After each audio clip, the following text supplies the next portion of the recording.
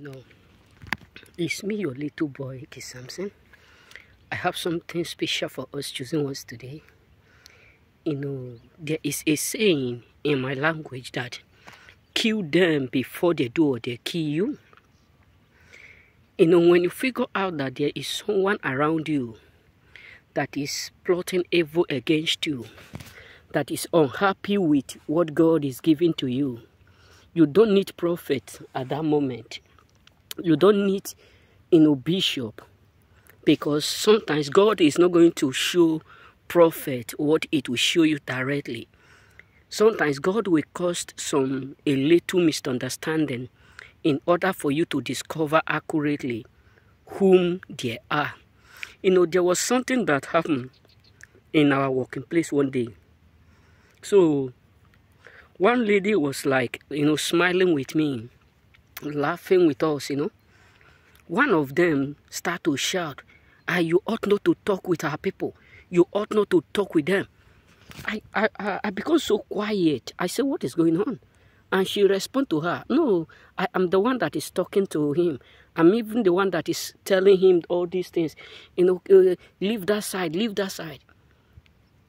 I look at it, I said, it is God that just revealed his character to me whom he is, that he is not named, but what? But a hater.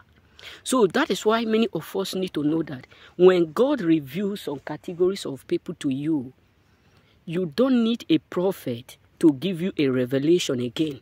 You just need to use the wisdom to do what? To bend your what? Your ways of acting with them. Don't hate them, but don't be so close to them because some people will take many years in order for them to do what? To change. So when you discover either your brother, your sisters, they are hating you, don't hate them, but know how and where you place them in your life so that they will not be able to destroy you. Because sometimes some people will try by all means to convince you to trust them and they will end up using it against you.